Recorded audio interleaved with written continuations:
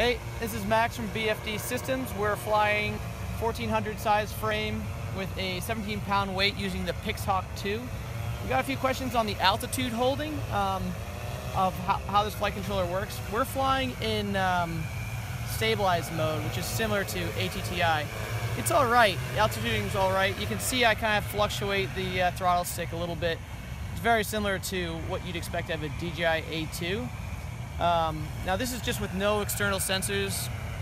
You can put external barometer, um, uh, laser altimeter on there, which uh, would improve the altitude holding a lot.